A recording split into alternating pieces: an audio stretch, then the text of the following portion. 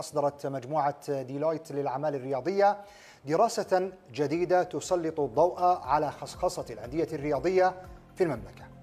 الدراسة أشارت إلى أن استراتيجية المملكة تهدف إلى تحقيق استقلالية الأندية مالياً وزيادة مساهمة القطاع الرياضي في الناتج المحلي الإجمالي من 2.4 مليار ريال والتي حققت في عام 2016 إلى 18 مليار ريال وذلك بحلول عام 2030 وتوقعت الدراسة نمو السوق الرياضي بالمملكة بنسبة 8.7% بحلول عام 2026 مدفوعا بتركيبة سكانية شابة حيث تشكل 63% من السعوديين تحت سن الثلاثين.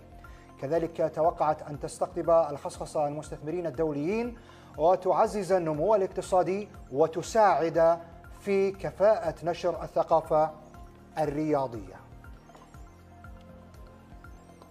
نعم عبد الله نتحدث عن هذا الموضوع. تنضم إلينا من دبي إزيري رئيسة مجموعة ديلويت للأعمال الرياضية في الشرق الأوسط. مرحبا بك آه، معنا. دعني في البداية أسألك عن آه، التأثير الذي سينعكس على الاقتصاد في حال خصخصة الأندية آه، السعودية.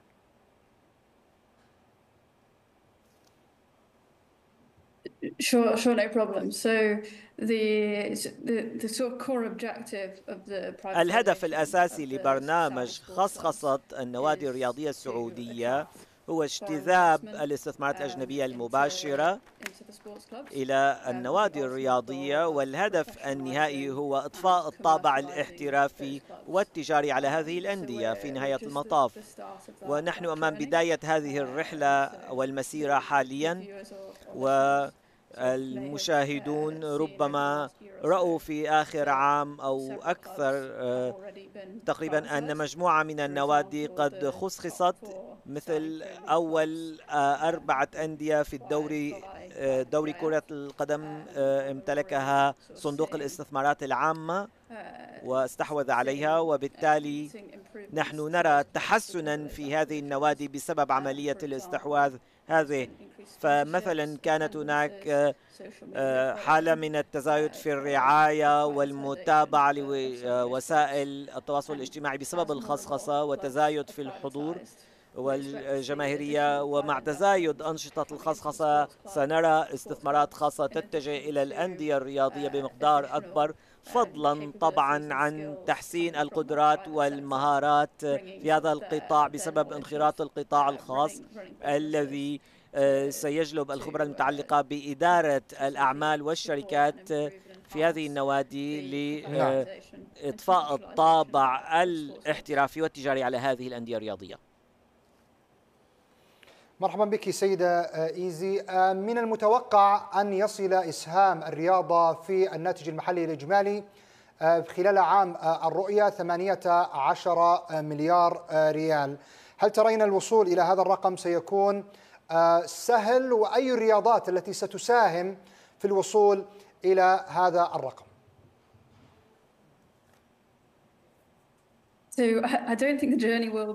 لا أعتقد أن الرحلة أو المسيرة ستكون سهلة بالضرورة ولكن بالتأكيد يمكن تحقيق هذا الهدف من حيث المبدأ. أما بالنسبة لكيفية الوصول إلى الوجهة النهائية أو الهدف أول شيء يجب أخذه بالحسبان هو ما هو العنصر الرياضي الذي سيسهم في زيادة مساهمة الرياضة في الناتج المحلي الإجمالي السعودي؟ هناك عدة عناصر بطبيعة الحال. هناك الرياضات الاحترافية والمثال الواضح على ذلك هو كرة القدم.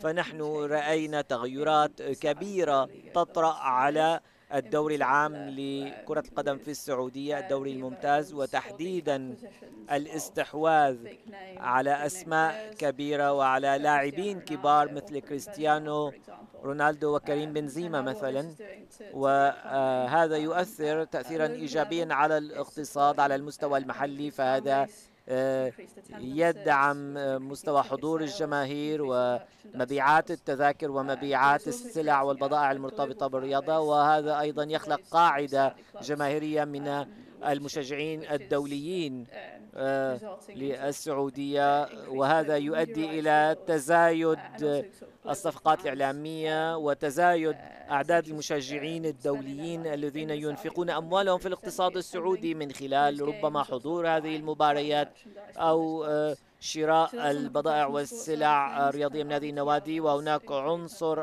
آخر يشمل إقامة المناسبات والبنية التحتية والمعدات.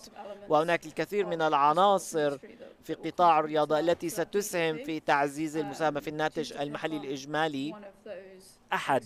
هذه الأمثلة ويمكن المراجعة بالتفصيل لجميع العناصر ولكن المشجعون يساهمون آه، في دعم ذلك والفعاليات تدعم والجميع يعلم أن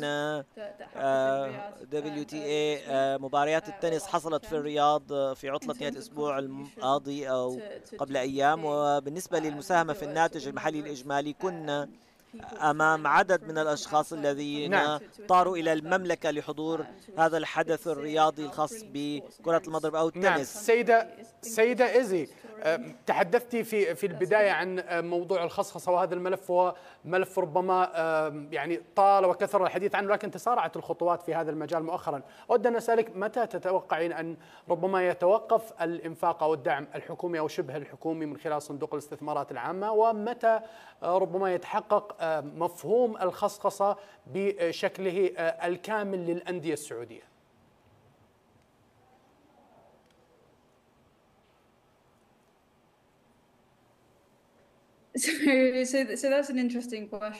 هذا سؤال لافت. بالنسبة لموضوع الخصخصة نعلم أن وزارة الرياضة تعمل على خصخصة جميع النوادي الرياضية. وهذه العملية أعلن عنها قبل عام تقريبا من الآن. وهذه العملية بدأت وانطلقت.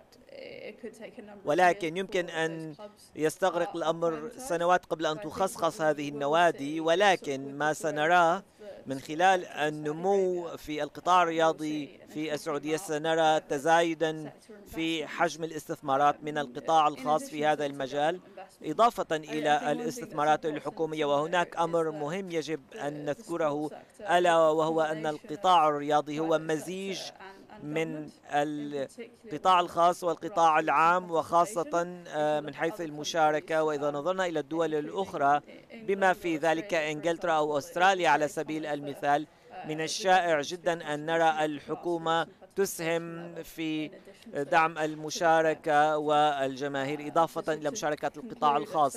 إذا بالمحصلة وباختصار أتوقع تزايدا في نشاط القطاع الخاص في القطاع الرياضي أو المجال الرياضي والدعم الحكومي والدعم من القطاع الخاص سيسيران يدا بيد وعلى التوازي بطبيعة الحال. نعم. كل الشكر لك إيزي ري رئيسة مجموعة ديلويت للأعمال الرياضية في الشرق الأوسط. كنت معنا من دبي.